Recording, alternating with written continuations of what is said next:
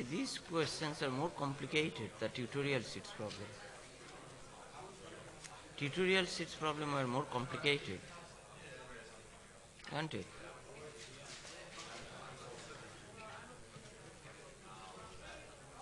They are more complicated.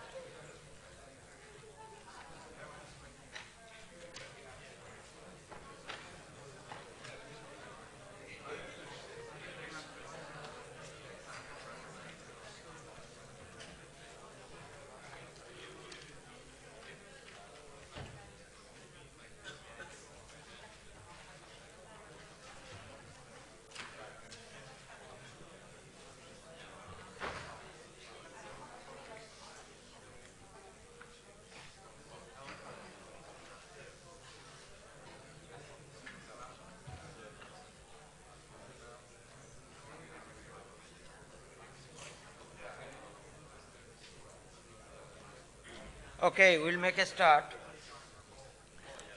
So, by the test that you had on Friday, average is about 56.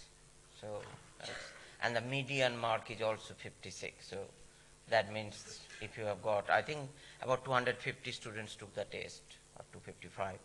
So, 125th or 126 student, if you arrange the marks, uh, it will be within that category. So I'll, I'll, quickly show you how you did that so that you can evaluate where you are in terms of the class.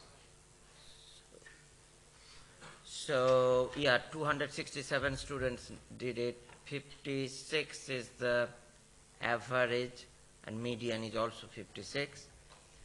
22 students got between 90 and 100. So I'd say anybody up to this level is fine for the first test. Those who got less than 50, I think need to go back and revisit the, uh, the tutorials and, and, and those in here. And in fact, what I mean is I just looked at the tutorial, first tutorial. These are the sort of problems that we had. And tutorial problems are much more difficult, and especially the in class one, than what you got in the test. You don't agree with that, do you? This, this, these are the sort of problems in the tutorial set. So please do solve the problem in the tutorial set. And each of the problem that you got in the test possibly would not be more difficult than the tutorial sets problem would be more difficult anyway. Uh, or at least it was in that case. So yeah, online test, time is an issue. Some of, some of you said that. Yeah, I'll take care of the time for the next test so that you get uh, sufficiently more time to do the test. Uh, so that time aspect I'll take care for the next test.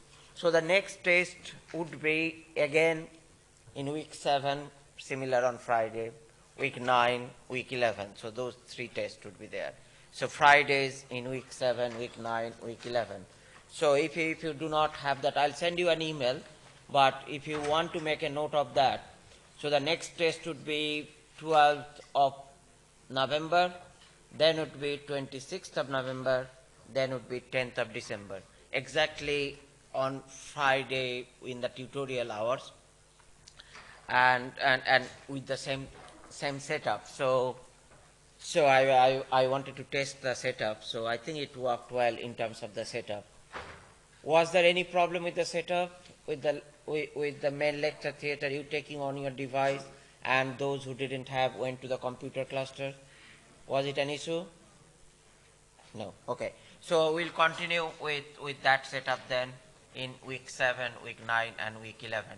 And as I said, please go through the tutorial sheets problem and if you if you understand them then you will not be having any problem should not be having any problem in those tests and and you could see that these tutorial sheets problem are much more difficult than what you have got in the test you had only one load and all the type of loads that you had udl moment point load as well as the triangular load are all all covered in here so, so if you if you do those tutorial problems, then uh, then it should not have any problem. I was expecting a little bit higher average, to be honest, um, but there you are, and I can understand that was a fast test, so that was the case, maybe. Okay, so we are going to go into a new topic, which is, and for this one, is a shear force and bending moment diagram, and the lecture notes are in here. I think it was uploaded last week. So that's the lecture notes part 03 that I am showing it you now. And the tutorial sheets for this one, there are two which is available in this week's one. Tutorial 3, sketching bending moment and shear force diagram and calculation of bending moment shear force. So this would be doing it um, qualitatively without any number and the tutorial 4 would be with the number.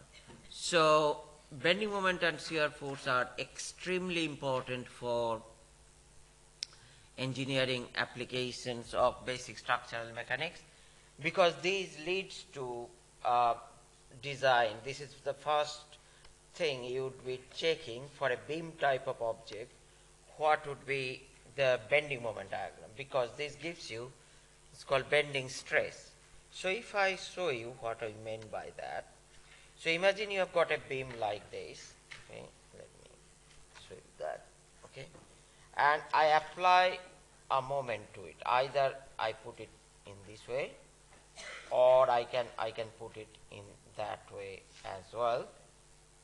Then what you could see if I bend this piece of foam, which is I am using it as a beam. So if I if I put some load, it will bend possibly in that way. So what you could see is difference from pulling and pushing type of force. Bending creates different type of deformation in the beam. So there are some lines drawn along this beam.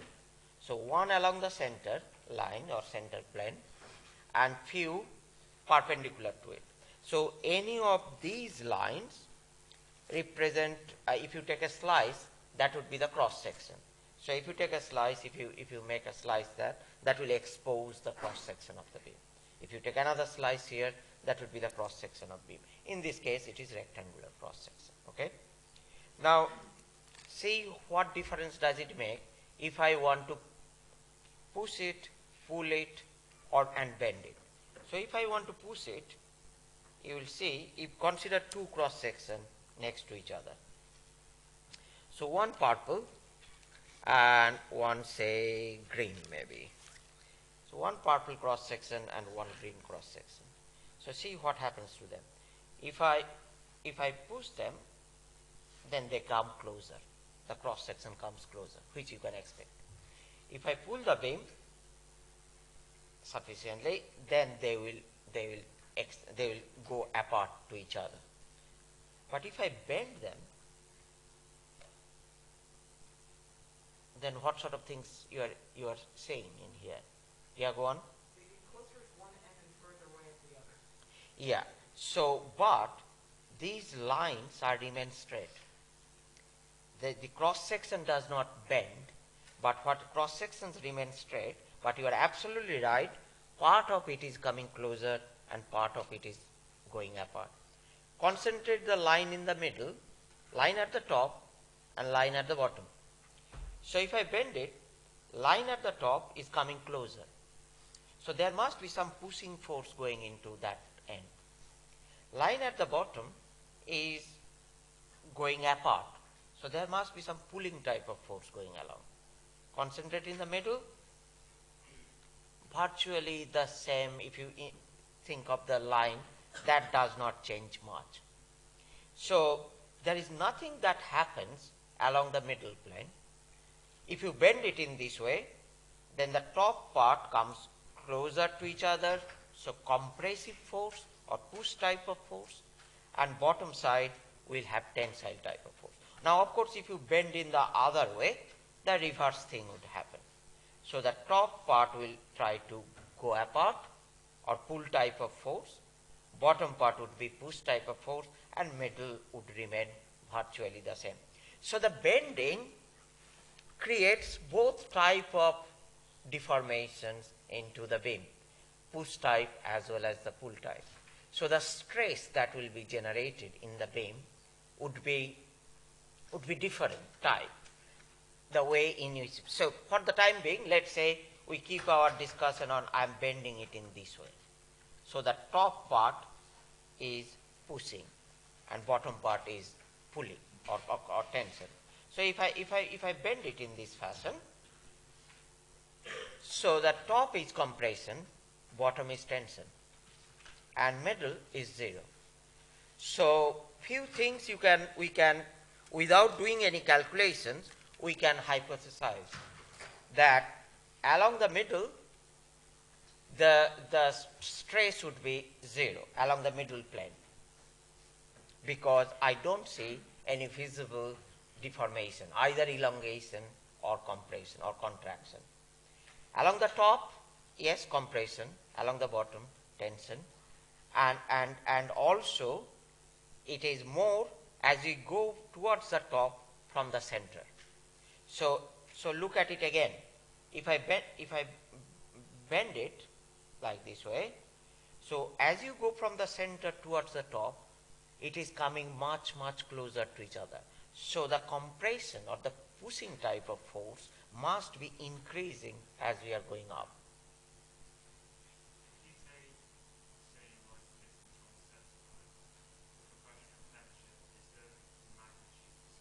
Yes, in this case, yes. If the material is same, it is exactly the same. And it, it depends on exactly how far it is extending and, and compressing. So, so if, if this distance is say, let me, let me so if, if this distance is, uh, let's say, uh, 5 centimeter apart, for example, five and a half centimeter apart, for example, and then if you, if you squeeze it, and then that becomes 3 at the top, so 2 centimeter increased, then 2 centimeter uh, decreased, 2 centimeter will increase at the bottom. Yeah, absolutely.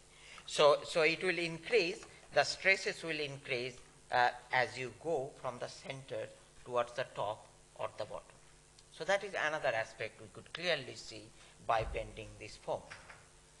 Other thing is the stresses that would be generated in here is acting in this direction.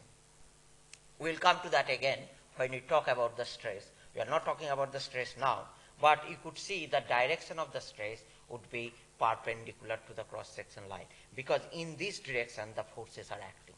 So forces are acting in these directions because that's why it is getting compressed. So the so although it is bending in this manner, the, the stresses are acting in the direction of the length. And similarly, it is pulling apart in this direction. So the stresses are acting along the direction. So, so as a result, part of the beam extends, part of the beam compresses, and that creates bending. Now, why it is important? Now, of course, beam are very common as we have seen, or, or idealization of the structure as a beam, starting from a part of a bridge to the wing of an aircraft, for example, blades of an helicopter, for example. Even the whole fuselage for a first uh, idealization could be taken as a, as, as, a big beam, for example. So, so that's a sort of idealization wise. Beam is very, very common. And beam resist load or transverse load by bending primarily. So we need to know that mechanism, we need to understand that mechanism well so that if given a load, we can find out how much it is bending, by which how much I mean is how much stress that is creating within my beam so that I can compare it with my material strength property that I probably have done in the lab. So if I bend this foam, I, if I know the properties of this foam, how much stress that it can withstand, then I would load up to that point or below that with a factor of safety. Okay? So this is important to know that. So the first step is to find out something called bending moment, which is different than moment. Moment is force times the distance, perpendicular distance to the line of action of the force. Bending moment is actually the internal forces that would be generated within this beam if you apply a load. So if you apply a load in this beam supported on these two ends, it will bend. So what it means is that as I have said before, that the top part is under compression type and bottom part is under tension. So these creates a moment within the cross section. So if I take one cross section here and if I bend it in this manner, then top part is compressive type of force. So let's say the force direction is this. Top part is compression. And bottom part is under tension. So let's say this is this is this is the tension side in this case. So so this side the force is going in this direction and this side is force is going in that direction because that's what I mean by compression and tension. Now look at these two forces. This is creating a moment. So at any location, this compression and tensile force will create a moment locally at each of these cross-section points. And this is internal forces, internal stress resultant. And this is called bending moment. Now we, we can appreciate possibly, although not uh, directly get it, that this uh, magnitude of this moment that we are generating will depend on the load we apply and how does it bend as well. So for example, if I do it in this way, we could see the bending is much more pronounced here as opposed to if I take another two cross section, let's say here, for example. And if I, if I bend it the way I am doing, so maybe you could say the bending is much more towards the middle two than the, than the other two on the side, for example. So the way I'm bending, it may be that the bending moment or the stresses that will generate will vary along the length of the beam. A diagram of bending moment is to show, is to plot the bending moment along the length of the beam. So you say, okay, at this location, I have got this much of bending moment. At this location, I've got this much of bending moment due to the load. So that means that the, that, that will beam would bend locally due to that much of bending moment, for example. And here probably would be less. So the diagram of bending moment is exactly drawing this amount of bending moment at different location along the length of the beam. Okay, let's go back to how we do that. And believe it or not, it's, it's, it's no different than our uh, uh, doing, uh, dealing with equilibrium. So equilibrium is something that we have to consider again and again. So let me focus on bit of a beam. So let's say we have got a beam here of 10 meter length. Can you see it here? Yeah. 10 meter length and which is loaded by a, uh, by a uniformly distributed load of 2 kilonewton per meter. So if it is 2 kilonewton per meter, now of course the total load would be 20 kilonewton. So each of these reaction force support would take half of that load. So that is 10 kilonewton. So 2 kilonewton per meter means total load would be 20 kilonewton. So that is 2 times 10. So half of that load would go into one of the support, so that is 10 kilonewton. Now we want to see how the bending moment vary along the length of the beam. Now although I just told you bending moment is the internal force resistance, but for the sake of equilibrium, that would be at any location equal to the moment that is required at that uh, location to resist the whole load. So how do we find out that bending moment? Now, let's say we want to find out what is the bending moment at a distance x from the left hand side. So you take a distance x from the left hand side, say maybe somewhere here, and then as to uh, with the other cases of the truss, to find out what is the bending moment at that location, we need to make a virtual cut. So what I'm saying is so if we need to find out bending moment at that location, we pro pro probably need to take a virtual cut at this location. And then of course it is loaded at the top and it, is, it has got a support at one end and loaded at the top. So what if we make a cut here, then we'll, if we consider equilibrium of this side, now if anything, any force and moment that is required from the right hand side to keep this part in equilibrium, that force must be acting at this interface. Or in other words, if I go back to my drawing, so if I make a cut at a location x, and if I consider what is the equilibrium of, so I make a cut at a distance x, like this. Now I'll check what is the equilibrium, whether this part is under equilibrium or not. And as with any, any structural analysis, we have seen that if a whole structure in, is in equilibrium, each and every part of it is in equilibrium. So if I made a virtual cut at a distance x, why do we use a distance x, not 1 meter, 2 meter?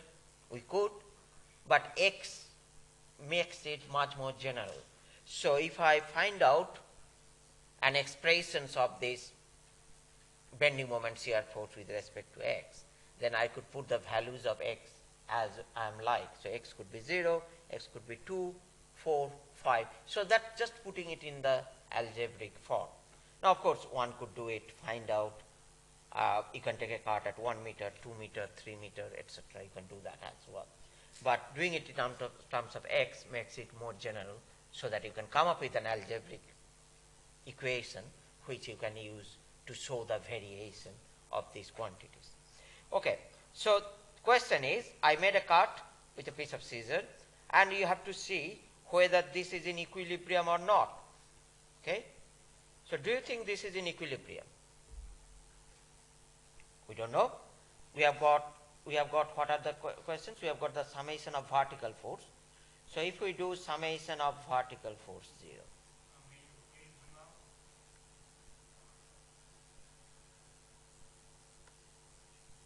Thank you for reminding me.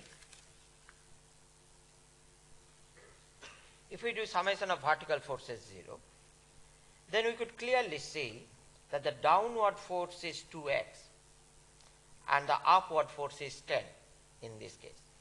So maybe if there is no force acting at the interface, that means one side does not support to the other, then of course there will be nothing at the interface. But as soon as you have the cut, then maybe you have exposed the interface. So let's say there is a force acting in here as V vertical and a moment because these two are the interface force that you need for a standard beam for bending. So, so if you do the equilibrium in this case, so 10 kilonewton is going up, so that is 10, and then 2 times x is going down, so minus 2 times x, and V is going up, so plus V, that should be equal to 0. So summation of vertical forces 0 will give you this equation or, or V at a distance x if you say. So you could say that V at x would be twice x minus 10. So the interface force which acts parallel to the cross section is this quantity. Okay. So how does it look like? So if you draw that, if you plot, if you vary, if you vary x, so if you put x equal to 0, so for x equal to 0, Vx would be equal to minus 10. So for x equal to 0, which is, so you plot a line from 0 to 10 meter, for x equal to 0, that is minus 10 kilonewton. Then you put x equal to 1, then Vx would be equal to 2 minus 10, so that is minus 8 kilonewton. Then you put sometimes say x equal to 5, which is the middle, then Vx would be equal to 0. Similarly, if you go the other end, x equal to 10 meter, the distance, then that would give you Vx equal to plus 10 kilonewton. So it's an equation of a straight line and you could see that or if it is something else then you could draw that. So this shows diagram is called shear force diagram or in short SFD, shear force diagram. What does it show? That if you have got a beam of 10 meter length and it is loaded in this way, then at each point along the length you have got an interface force acting of this much amount. An interface force means that if you, if you imagine you are on the left hand side of that interface or the right hand side of the interface, each side resist each other by that much of force. It's like a shearing force. It's like a cutting force, for example. So the cutting force that is, it is acting in that, at that place is, is, is given by that expression. Now given that, is that under equilibrium? Possibly not. Possibly not for moment. So we need to check for moment expression. Now, so that we need to do, so summation of moment about any point is equal to 0. So you will do that now. So if you take moment about this point, for example, here. So moment about this point would give you, say, 10 times.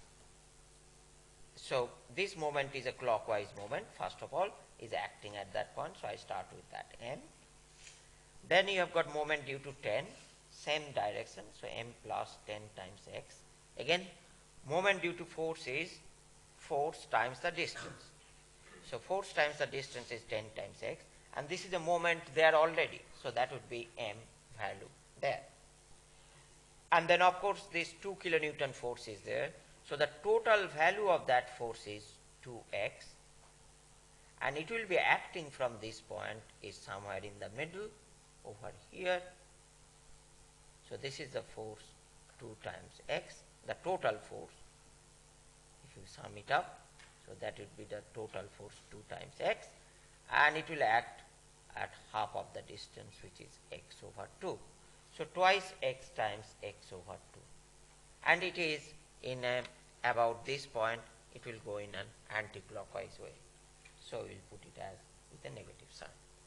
These are the three forces, force 1, force 2 which is the summation of this distributed load and a moment. Force due to V would be 0 because we are taking moment about that point. So moment about let's say about point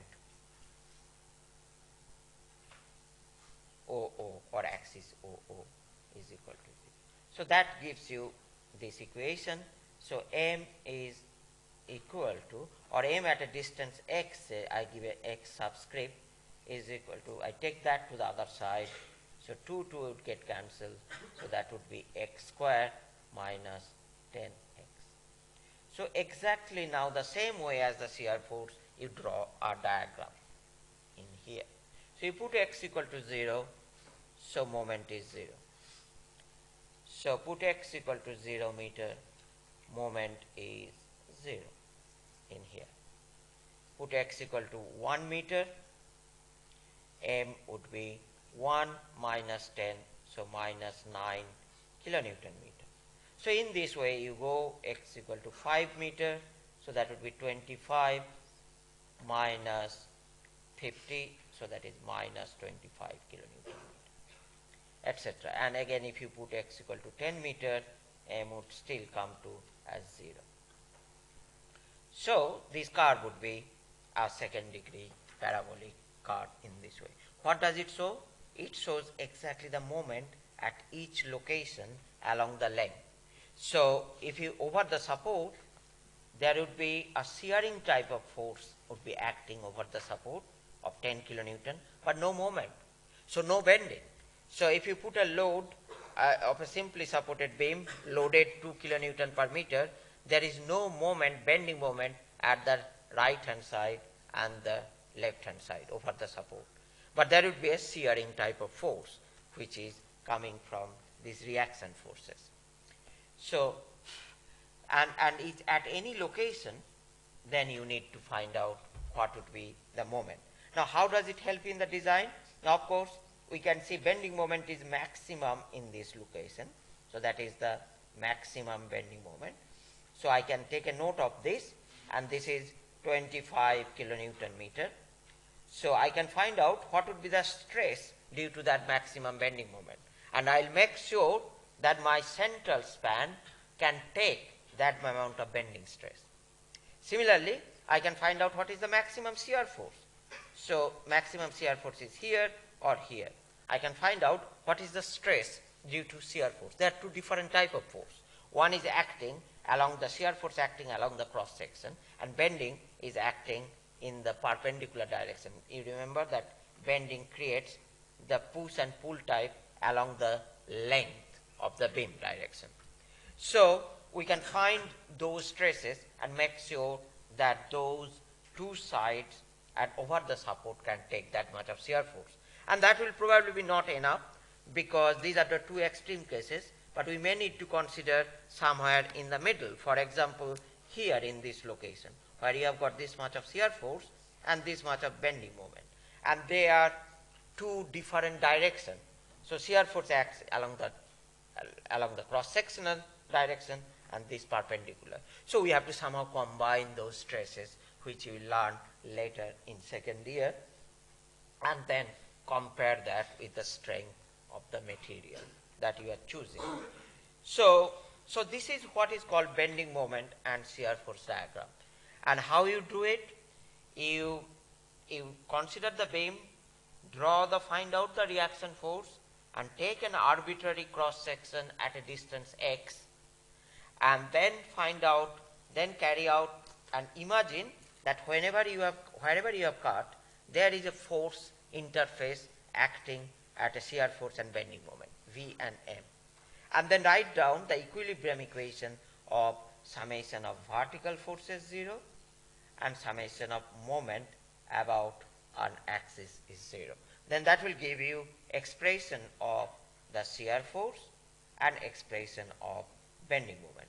And then you draw that by varying the x value and this is your bending moment and shear force diagram. So you can do it for any problem, any type of loadings. Now in this case, I've started with a simple problem because the load do not vary. Now if you had a point load here, then that would be different. So if you take a cross section, section or the left of the point load and right of the point load, that will be different. So we look at those sort of complexity as we go along. But for the time being, this is the process. Any questions on this? Did you get it? Can you show your hand, please, that you got it? Okay, good, thank you. I am happy because this is very difficult. Okay, so getting conceptually is absolutely useful. Then I can build on to that and go to the go to the other other bit in there. And if in doubt, read the lecture notes. What I have said so far is exactly I'm, I'm in a way repeating that with this sponge foam in here. I, I'll try to get you a piece of foam like this. So I'll try to see if I can order some 250 foam. This is a really, really useful thing. And if you mark it, it's really good. Or, or if, you, if you have got a sort of a large kitchen, sort of a dish uh, uh, washing foam, try with that as well. Because foam is good, you can bend it very easily and you can see the deformation. So anything bigger piece of foam that you have in, in your kitchen or somewhere, then try to use that. Okay, so next thing what I'm going to show you is how we can do this sort of calculations without, uh, this sort of diagram without doing any formal calculations. Okay, so if we know, so my, my, my way of doing that would be if we know how the load varies, can we know how the shear force would vary? Can we know then how the bending moment will, will vary in, in a beam like this? So that, that would be my next step for you to. So before I do that, I'll, I'll just show some sign convention that we'll be using.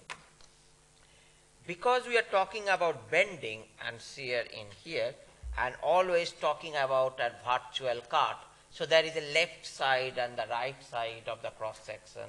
So if one side gives a force on the upward direction, you'd expect the right hand side to have the left hand side, etc. So to, to uh, simplify the matter, we'll use this sign convention. If it is a direct force, push or pull type, pull type force is positive.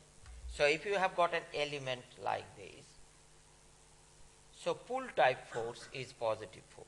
So this is positive force. If you have got a bending, then if you bend in such a way that the top part extends and bottom part contracts, then that's a positive bending moment. So this is positive bending.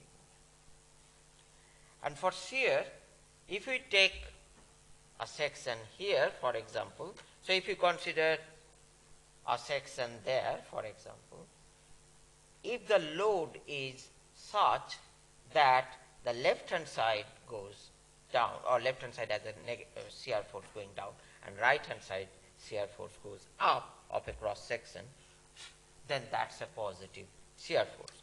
Now you may be uh, tempted to find out that exactly that type of sign convention we used. So if you can so you can see here that I have made a cut at that point. So I am talking about the right hand side of the cross section. So right hand side of the cross section I assume positive shear force is going up. So that is my positive shear force. Right hand side of the cross section moment going in the clockwise fashion is positive. So that's what I have considered in here. If we are in this problem, if we are considering the other side, for example, so other side of the loading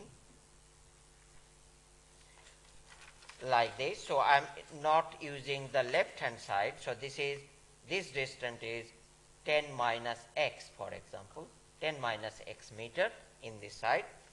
Then I would have used here the shear force would be coming that direction. So I would use shear force as V because that is the left of the cross section. And moment I would have considered this is a moment. Okay? So that just being so that this moment is the opposite direction to this moment because these two are the interforce so this moment must be equal and opposite to that moment. This shear force must be equal and opposite to that shear force. So left hand side of the cross section and right side of the cross section, we have to make sure that the forces are similarly as in this case. So if you consider this is in tension, force would go from left to right. Whereas if you consider this side, force would go from right to left. So they are consistent. So if you consider a pull force, then they should pull in the two opposite direction, not both in the same direction in the left and right hand side of, an, of, a, of a segment or an element there. So exactly the same logic here.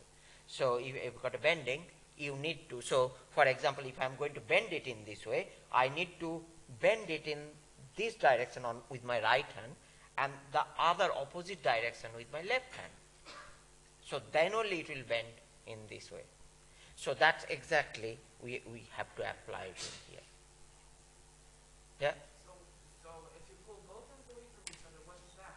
A positive shear? This one? Yeah. This one is not a shear. This is the positive pull, positive tension. Oh, tension. Yeah. So this is like, like in a member of a truss or something. So this is a positive tension. So positive force is, is this is in tension. Okay? Is that okay? Okay. So with that sign convention, then we'll go. Uh, we, we could we could look at few other examples.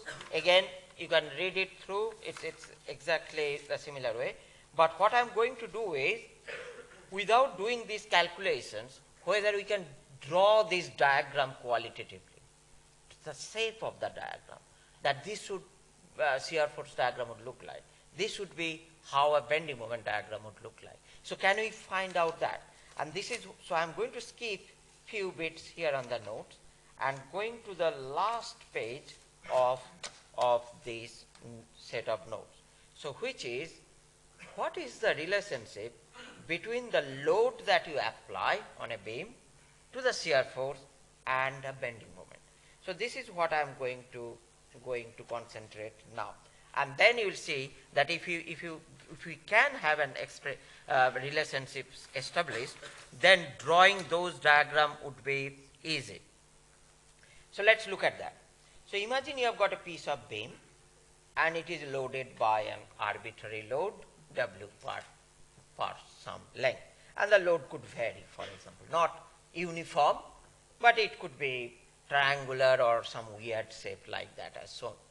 Now, of course, if it is not uniform, we cannot deal with that for the whole length.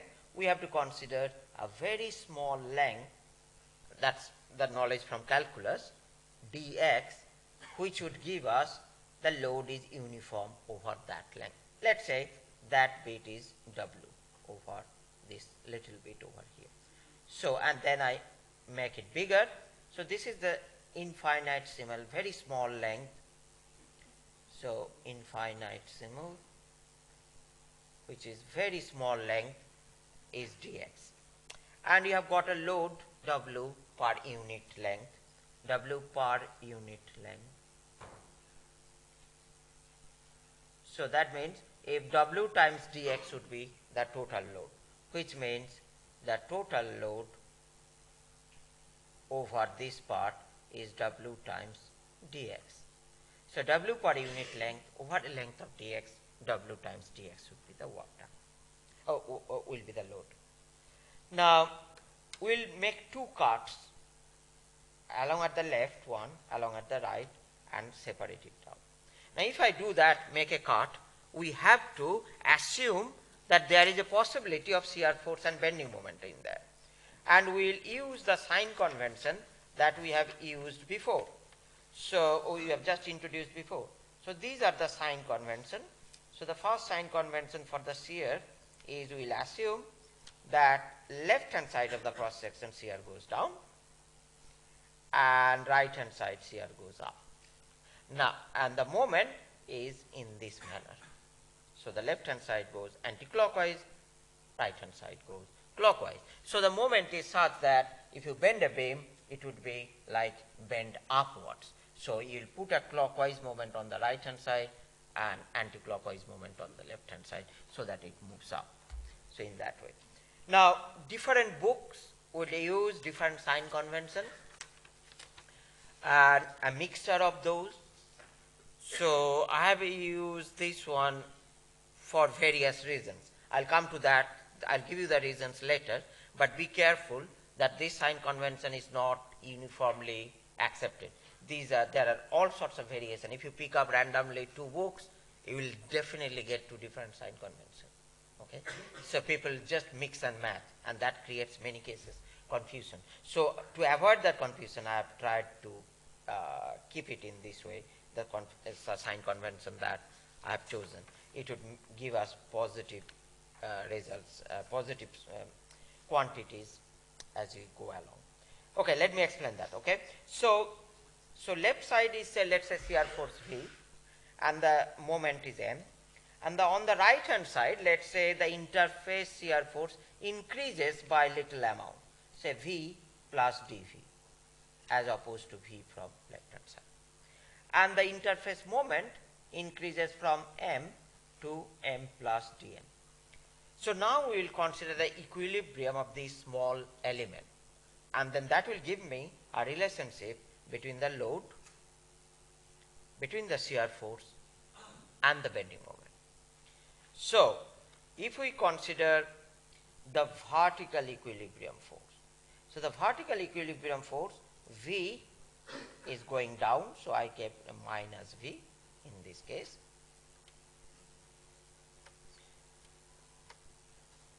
So, can you see it now? There? Yeah. So, I gave minus V from there. Load here W dx is the total going down, so minus W dx, and V plus dV is going up. So, I get an expression, if you simplify it, dV is W times dx. So the change in the shear force is the load that is putting on to that segment, which makes sense. So this side up to here, I've got a shear force of V and you have put some extra load, W times dx. So my resistance on the other side from the, from the right hand part of the beam must be extra W dx time. Or in other words, if you just convert it into using calculus, dV dx is W. What does it mean? That means the slope of the shear force diagram is the load intensity. Let me go back to the first problem that we did. We did this problem here. Now, slope of this line, what we are saying, shear force diagram, is the load intensity. Is it true? Okay, what is the slope of this line? Slope of this line is, this is 10 over a distance of 5 meter. So the slope is, slope is 2 in this case. Now of course, so 10 over 5 is 2, which is the load intensity. So that works. So the slope of the, of the shear force diagram is shear force is W. So the gradient of the shear force diagram is equal to the value of the load intensity. So that would help me in doing this diagram even without doing all this calculation. So I could say, okay, at this point shear force is minus 10 because left hand side going up and then I'll draw because my load intensity is constant 2 kilonewton per meter so I'll draw a line with a slope of 1 is to 2 and then that will give me this line and then of course that will get me it in there. So without doing in between calculation this relationship is powerful enough to show me how I can draw this qualitatively this diagram. So now delving a little bit deeper with the moment I can take moment about this point.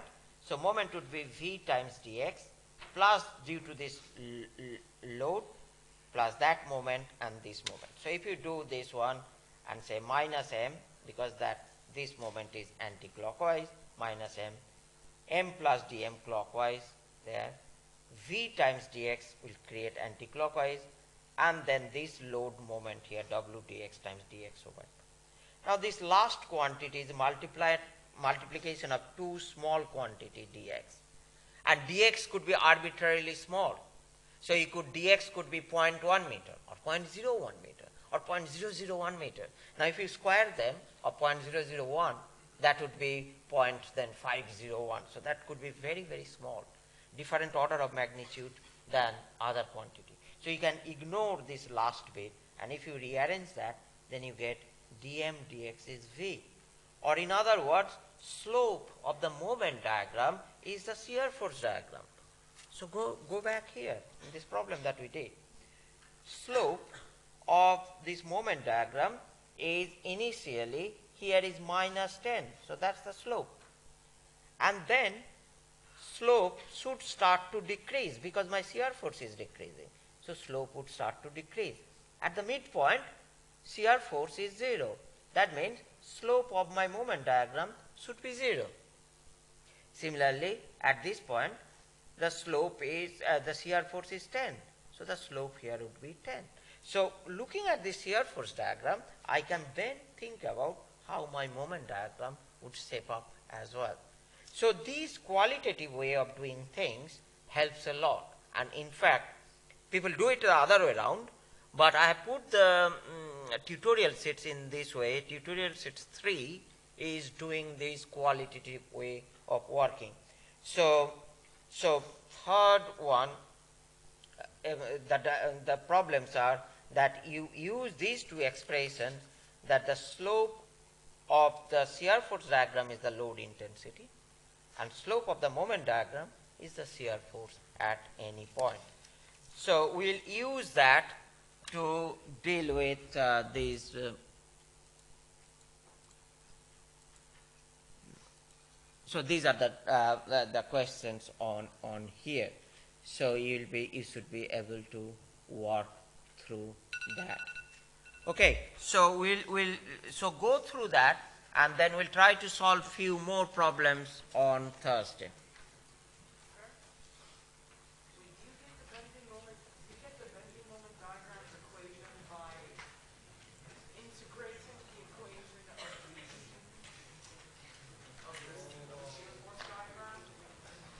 So dm dx is v. So what you are saying is the moment at any point. Yeah, you could you could do that. Yeah, but the point is point is in doing that. Of course, integration you need the initial value as well because integration always works in terms of with, within the bounds. So that creates a problem. Whereas yeah, it's it's fine. It's, you can do that. One could do that. Yeah. So uh, this one, so this applies only when it's UDL. Ah, no, it will apply for any loading. We'll, we'll do that on Thursday. So it, it will apply for any loading. Yeah.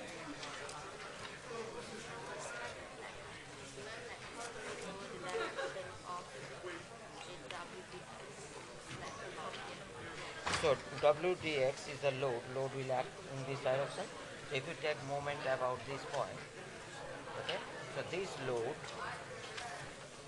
this load is working in this direction, okay?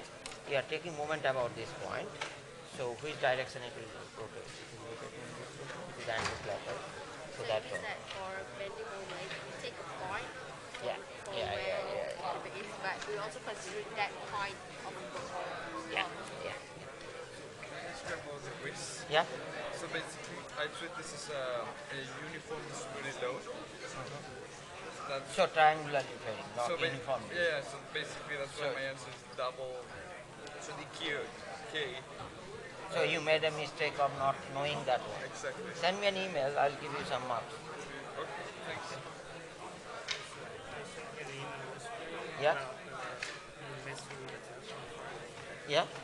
I, I, have I not replied? Yeah, you have, but um, I can access the test on Blackboard still, so is it worth doing it? Uh, for your own benefit, but you, it will not change the marks. It will not change the marks. Unless you have got mitigating circumstances, then fill in a mitigating circumstances form. And, and then what they will recommend is, they'll say, okay, we can ignore that 10% for you, and then your marks would be based on the rest 90%, for example. So if you have got mitigating circumstances, that's how they will work. Because there will be no further test for receipt or make it up in that way. Um, I don't get, so when you take spot as points, why do you sort, why isn't this zero? No, this moment is acting at that point as a as a moment from the other side, from the right hand side. So we are taking this as a possibility that moment will exist. So when you do take one spot here, because so T zero anyway. Yeah, yeah. So that that's the interface moment that may be may be acting at that point. It may not act, but may be acting at that point. That's what you are. So basically, these two, Yeah, they're from the other side, yeah, and yeah, these two are from this side. yeah. Uh, what was that? Uh, one side shares just as V and the other side is V plus dV. Yeah, so, so we will not expect that the shear, fo- so if, if it is the same, then that means shear force will not vary. Right. So we are assuming that they will pos- they will possibly vary between as you Oh, go along. Ah, So, so this is the variation that we are considering. So, variation, yeah. of d over dx, exactly. So that's the variation that we are considering. thank you. Cheers.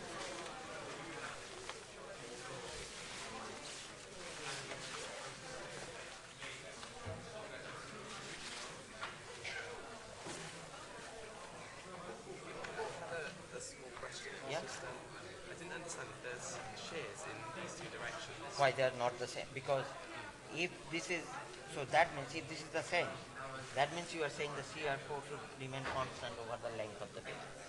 So this dV means that it takes into account the variation over the length. Oh, okay, yeah. So that, that means that, so if the dx is 1 meter, 2 meter, 10 meter, then you don't expect the shear force to be remain the same over this point. So this dV we are adding that okay, if, if this point is V, over the